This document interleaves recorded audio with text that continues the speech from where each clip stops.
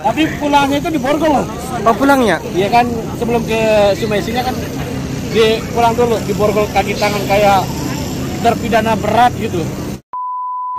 Assalamualaikum warahmatullahi wabarakatuh Jumpa lagi di vlog saya Kang Ilan Dan Masya Allah Tabarakallah di malam hari ini yaitu malam Jumat ya Iya. Kita sedang berada di pelataran Masjidil Haram Dan saya di sini ketemu dengan Mas Awi Assalamualaikum Salam. Gimana kabarnya Mas Awi? Sehat. Kang Iran gimana? Kayaknya batuk-batuk ini. Ini agak sedikit demam Kemudian serak juga ini, serak banjir Mas Awi ini Bukan cuman basah doang ya, tapi udah banjir seraknya Udah lama nggak ketemu dengan Mas Awi ini ya Maksudnya nggak vlog bareng dengan Mas Awi Jadi udah kalau penyanyi dulunya kita itu duet sekali. duet sekali ini sendiri-diri. ini trio lanang masya Allah tapi Kang Alman masih belum pulang ya Ya, sekarang udah jalan-jalan sendiri karena kesibukannya masing-masing. kesibukan masing-masing dan Mas Iya. Awi sekarang sudah tinggalnya kadang di kota Jeddah Mas Ah, Awi ya betul, Iya. Hmm. kalau komunikasi memang sering kita komunikasi dan ketemu juga sering cuman kalau untuk bikin vlog bareng sepertinya baru malam ini nih ya dan di belakang ada siapa ini Sani Channel. Azani Channel gimana kabarnya bro Alhamdulillah sehat. Sekarang gimana nih? Apanya Udah lama gak ketemu ini. Iya, Ajani Channel kemarin waktu saya dengar itu dari Mas Ali kabarnya kurang mengenakan. Dia itu yang yang punya restoran matam Turki tapi mantan sih. Mantan ya? Iya mantan sekarang udah nggak punya lagi tuh. Oh gitu. Udah Terus dijual sama dia. kok dijual sama Mas Ajani? Gimana ceritanya ini? Biaya keluar penjara bos. Ya Allah. Biayanya kan kemarin tuh di majikan yang pertama kan nggak tanggung jawab, jadi pindah gitu kan. Oh udah pindah majikan ya? Iya gimana ceritanya waktu itu Mas Ali? Katanya teman Mas Ali nih, Ajani Channel masuk ini penjaranya yang nganter siapa? Ini yang nganter. Iya. Iya. Oh diantar? Nah, saya antar, di- saya, saya antar ke polisian kurang baik ya. Sama polisi langsung Enggak. dipegang dia. Kronologinya bagaimana? Kok bisa Ajani Channel Nah. ini di penjara? Namanya kan gini loh bos. Gimana? Paginya itu saya Mas Awe lagi masak ya. Dimasak di pinggir sungai, selesai masaknya ditelepon sama Surta. Iya. Kebetulan dia langsung yang nganter ke situ, langsung dinemin selama dua bulan dari situ. Dua bulan di penjara. Dua bulan. Ya Allah, nggak diapa-apain di dalam penjara? Alhamdulillah enggak sih. Nggak misalnya Tapi di dikasih di uang kayak- gitu nggak?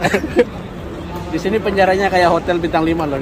Masya Walaupun Allah. di- Berarti betah di ya? bawah. Berarti betah ya? Mau nambah lagi?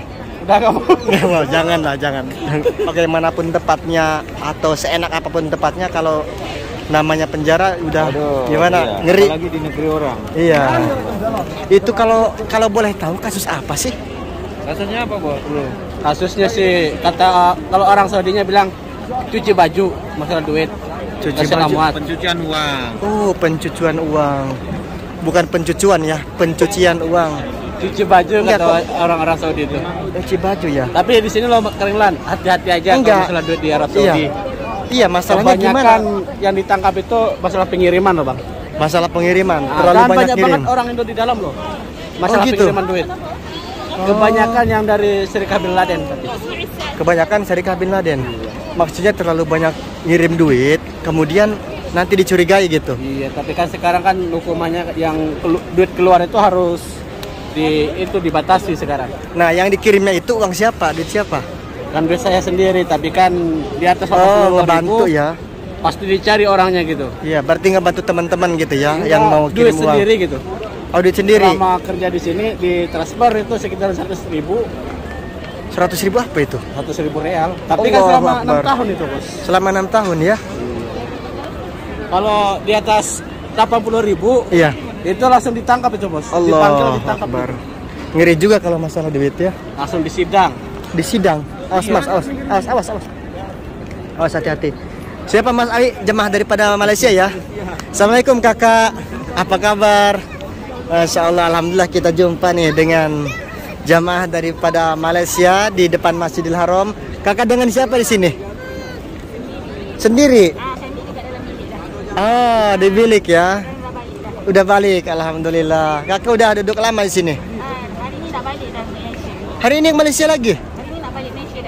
Ah, hari ini katanya Mas Awi mau pulang ke Malaysia lagi. Berarti ke Madinah sudah ya? Masya Allah, mudah-mudahan eh, pulang ke negeri Malaysia dengan selamat ya, tidak ada halangan apa pun. Dan alhamdulillah kakak ini adalah tetamu Allah yang saat ini eh, melaksanakan umroh dan kita mohon doanya juga nih kepada kakak daripada Malaysia karena doa dari kakak yang apa namanya yang melaksanakan umroh itu pasti dikabul doanya. Iya, mohon doakan kakak untuk teman-teman yang sekarang nonton ini. Kawan-kawan daripada Malaysia juga ada, insya Allah. InsyaAllah semoga semuanya dapat uh, masuk ke masjid. Uh, semoga semuanya dapat masuk ke tanah haram dengan izin Allah. Amin ya Rob. Mudahkan semua segala urusan kita dan diangkat penyakit ini ya Allah. Amin. Amin amin amin. Amin ya Rabbal Alamin. Terima kasih kakak. Kalau boleh tahu namanya siapa? Nur Anira binti Mahad. Nur Amira ya. Nah, Iya, tidak apa-apa masuk YouTube ya. nah. Iya, ini Kang Irlan ya. Iya, terima kasih kakak. Yo, assalamualaikum. Masya Allah. Ahmad Bikal. Apa? Mau ngomong katanya tuh? Oh, bukan. Kirain ke kita. Oke, saya pengen dengar lagi nih kisahnya teman kita ini yang sempat ditahan, sempat dipenjara oleh kepolisian Kota Mekah. Jadi kronologinya eh, Mas Ajani sering ngi- ngirim uang dengan jumlah terlalu besar, kemudian dicurigai ya Mas Awi ya. Itu bisa kok ketahuan sama polisi. Sebetulnya Atau sih- bagaimana? sebetulnya kronologinya itu walaupun ngirim besar tapi kalau nggak ada yang lapor sih nggak apa-apa saya sendiri banyak ngirim Mak Kang Iran Oh, tapi Yang ya lapor lewat bank itu. heeh. Dan kalau ngirimnya langsung ke bank mungkin enggak ya. Tapi kan saya ngirimnya melalui ATM semua gitu. oh gitu. STCV itu loh Pakai STC Pay. Hati-hati pakai STCP itu juga lebih banyak lagi yang ditangkap itu. Berarti dibatasi ya, nggak boleh eh, apa namanya terlalu banyak dan banyak juga sih memang teman-teman juga yang pengen ngirim uang terus, terus misalnya minta bantuan ke kita seperti halnya Mas Ali dulu kan ya. oh Tapi Mas Ali alhamdulillah aman-aman aja ya. saya tiga bulan lebih dari 60 ribu itu Tiga bulan lebih dari 60 ribu real. iya setelah dia ditangkap langsung langsung kapok saya nggak Kapok ya. tuh. Ya cukup Allah. dia adalah yang dipenjara mudah-mudahan saya enggak Jadi pelajaran buat kita semua aja gitu ya. Biar nggak terlalu bebas di negara orang lah. Oh, jadi gitu ya. Kalau misalnya eh, ngirim terlalu besar perlu hati-hati. Iya Perlu memang diwaspadai. jangan coba-coba ngirim uang di atas gaji kita gitu loh Iya iya. Jadi kan kita buat ATM itu kan tercera gaji kita per bulan berapa. Dan Iya. dicocokkan sama di maktab amal berapa gitu. Iya. sebetulnya Jadi sih dihitung semuanya gitu kan. Sebetulnya masalah uang ini pengiriman uang bukan saja di sini di Indonesia juga begitu. Setiap kita mengirim uang akan ditanyakan oleh bank gunanya untuk apa gitu loh. Yang dikhawatirkan itu disalahgunakan itu. Hmm, Jadi bukan Arab gitu Saudi ya. aja di Indonesia juga Iya, tidak iya. diperbolehkan mengirim uang dalam jumlah besar. Ya Yang Allah. tanpa jelas asal usul uang itu gitu. Tapi kalau udah ke mahkamah pasti ditanya yang berapa gimana? Ngambil duit dari mana? Oh gitu. Iya, ngambil duit dari mana? Kirimnya ke mana? Bank ke mana? Cuma itu tiga, itu pertanyaannya. Terus Terus jawabannya apa? Jawabannya kan duit dari mana? Ya duit saya sendiri gitu kan. Iya. Terus lewat lewat mana? Kirimnya lewat bank. Udah tercentera kan bank di situ semuanya. Iya. Pergi ke bank apa lewat ATM? ATM semua gitu. Berapa gajinya per tahun? Per bulannya berapa? Disebut di situ semua langsung dijumlahin per tahunnya berapa gitu. Hmm. Kalau dijumlahkan lebih deh kan Akhirnya ketahuan bersalah atau enggak itu? ya ketahuan di situnya kan dijumlahin selama se- tiga eh, enam tahun mungkin gaji yang seratus ribu itu tiga tahun carinya gitu Oh. Jadi lebih gitu ya. Lebih. Terlalu banyak jumlahnya akhirnya dibebaskan dibebaskan lagi. Iya. Terus keluarga tahu nggak waktu itu? ya alhamdulillah keluarga tahu Ketika itu perasaan Mas Ajani ini waktu ditangkap polisi bagaimana perasaannya? pertama sih kaget ya orang kita tanpa persiapan apa apa ditelepon kita kan nggak ada kesalahan apa apa gitu kan langsung tek yang Iya. ke sana ketemu dua orang langsung ditahan gitu kan Di borgol atau gimana itu? enggak enggak di Enggak. Borgol Mas Awi ketawa. tapi pulangnya itu di Borgol loh Oh pulangnya? Iya kan sebelum ke Sumesinya kan di pulang dulu di borgol kaki tangan kayak terpidana berat gitu. Hmm, ya Allah. Tapi kalau masuk ke penjaranya tuh biasa aja. Biasa ya. Iya. Seperti Tanpa hotel katanya. Kalau masuk sekarang juga mau kalau main ke situ ya biasa. Nggak usah ditanya kalau yang baru kan ditanya dulu kalau Iya. ziarah. Iya. Tapi kalau udah terpidana disuruh langsung masuk. Oh gitu ya.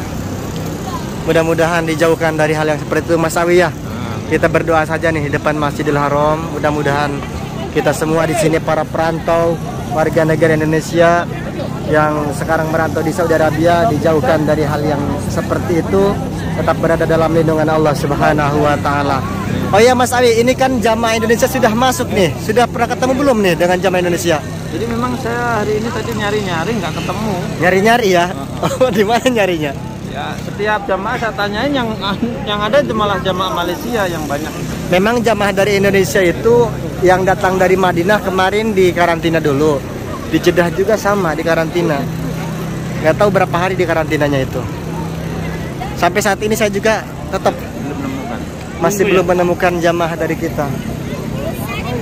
Masya Allah. Baiklah teman-teman kita akan nge-share nih situasi dan kondisi di Masjidil Haram saat ini. Memang sekarang ini malam Jumat. Para jamaah sangat ramai ya yang santai itu dengan keluarganya bawa anak juga. Nah kalau lihat anak kecil seperti ini dengan Aulian. Tuh. ya Allah. Oh ya Mas Abi bagaimana? Mas Abi sekarang di kota Mekah atau di Jeddah nih? Netepnya. Mas Abi cuek ya. ini netep di kota Mekah atau di Jeddah sekarang? Oh saya kebetulan ini satu bulan ini nggak ke Jeddah. Ya ke Jeddah ya. Nah, ya libur sekolahnya libur jadi saya di Mekah terus ini saat ini. Masya Nanti Allah. lain kali eh, Kang Iran silahkan datang ke rumah rumah Masawi baru sekarang. Baru lagi. Oh. Tapi tempatnya yang dulu kan? Iya tapi sudah saya Renovasi, renovasi total sekarang. Hmm, mantap. Boleh boleh. Hotel bintang 5 kata Azan. Kayak hotel bintang 5 ya. Kalau kurma bagaimana? Renovasinya berapa hari itu? Berapa? Selama sebulan tuh eh, buat rumah terus itu. Bahkan Satu ya? rumahnya itu ada kantor sekarang. Ada kantor ya? Iya, kantornya pribadi tuh. Masya Allah, Masya Allah, tabarakallah. Oh iya, banyak juga yang titip salam nih dengan Mas Awi, kemudian dengan teman-teman yang lain. Sekarang kita sudah sampaikan ya amanah salamnya kepada Mas Awi langsung. Iya. Ini ngomong-ngomong ada apa ini Mas Awi kok berisik ya? Ada renovasi. Pintu Abdul Aziz. Ya, Pito King Abdul Aziz sampai saat ini masih direnovasi ya. Insya Allah tapi segera selesai ini. Masya Allah. Semoga dengan tayangan video ini bisa mengobati rasa rindu teman-teman dengan Masjidil Haram khususnya dan kita doakan mudah-mudahan untuk teman-teman semuanya di mana pun berada selalu berikan kesehatan, dimudahkan rezekinya, dimudahkan segala urusannya dan mudah-mudahan segera sampai ke tanah Mekah ini untuk melaksanakan ibadah umroh dengan keluarga tercinta. Amin ya rabbal alamin. Dan seperti itulah tadi kisah saudara kita Azani Channel yang sempat ditangkap polisi dan masuk penjara selama berapa bulan tadi? Dua bulan ya? Dua bulan. Mudah-mudahan Mas Azani Channel jangan sampai ditangkap lagi ya. Ketawa terus Mas Sawi ya. Oke baiklah teman-teman. Itu saja untuk vlog kali ini. Alhamdulillah ini hitung-hitung apa namanya temu kangen nih dengan Mas Awi ya. Sudah lama tidak vlog bareng dengan Mas Awi yaitu trio lanang ya. Sampai saat ini juga masih ada yang nanyain trio lanang tuh. Nanti insya Allah di lain waktu kita akan adventure dengan Mas Awi. Gimana Mas Awi? Oke siap. Insyaallah. Jangan lupa mampir ke channelnya Mas Awi dan juga Azani Channel. Kita di depan Masjidil Haram. Pamit undur diri. Wassalamualaikum warahmatullahi wabarakatuh.